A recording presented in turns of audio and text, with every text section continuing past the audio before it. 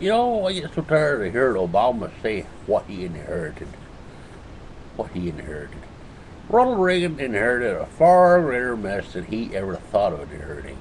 And Ronald Reagan didn't stand around and talk about what he inherited, how bad it was, all of this and all of that.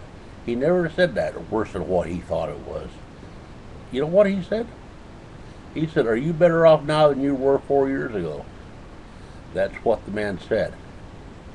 Why don't you ask that question, Obama? Are you better off now than you were four years ago? Ask the same question that the great communicator asked. That was the man. That was the man that you should be now, and you're not, not even come close. Not even close, buddy. That's my two cents. Keep the change.